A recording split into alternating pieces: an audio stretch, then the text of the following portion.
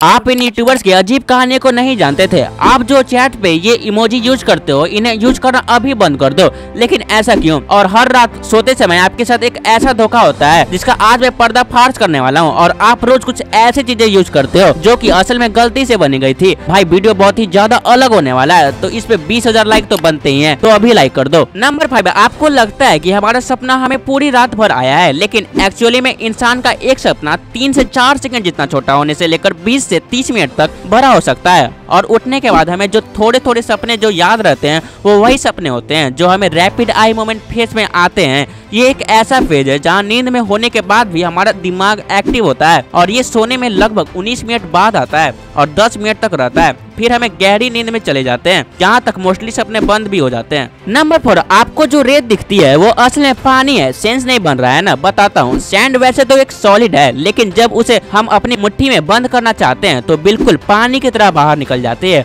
और हाँ ये पूरी तरीके से पानी की तरह बिहेव नहीं करती, लेकिन एक ऐसी सिचुएशन है, जिसमें सैंड जो है, वो पूरे ही पानी जैसा बन जाती है। जब सैंड के अंदर एयर को मिलाया जाता है तो ये बिल्कुल पानी की तरह बिहेव करता है। और अगर आपको यकीन नहीं हो रहा तो इस चीज़ को देख लो। इसे फ्लूडोसाइड सैंड कहा जाता है जिसमें आप कोई भी ऑब्जेक्ट रखोगे तो बिल्कुल ऐसा बिहेव करेगा जैसे कि वो पानी के ऊपर हो यहाँ तक कि अगर आप अपना हाथ भी इसके ऊपर डालोगे तो वो बिल्कुल पानी की तरह अंदर चले जाएगा। ऐसा इसलिए होता है क्योंकि जो एयर है वो सैंड के सेटल नहीं होने देती। इसलिए ये पानी की तरह बिहेव करता है। नंबर थ्री आप जो इमोजी यूज़ करते हो इनके एक्चुअल मतलब आप नहीं जानते। आप इनको यूज़ तो करते हो, लेकिन इनका मतलब आपको सही तरीके से नहीं पता। जैसे कि ये इमोजी ये जो हाथ जोड़ने वाला इमोजी है, हमें लगता है कि ये किसी प्रेयर के लिए बनाया गया है। तो ऐसा बात नहीं है, ये एक्चुअली में हाईफाई करता हुआ इमोजी है। उसके बाद ये ग्रैंड फेस वाला इमोजी ये एक्चुअली में लोग सैड या अजीब फील करने पर यूज़ करते हैं। पर रियलिटी में ये एक्सट्रीमली हैप्पी या बहुत सारा स्माइल करने वाला इमोजी है। और ये वाला जो इमोजी है, हमें लगता है की ये रोने वाला इमोजी है, लेकिन ऐसा नहीं है। ये एक्चुअली में स्ट्रेस रिलीफ दिलाने वाली इमोजी है। यानी कि अक्सर हमारा काम हो जाता है तो हम एकदम रिलीफ फील करते हैं। ये वो दिखाता है। Number two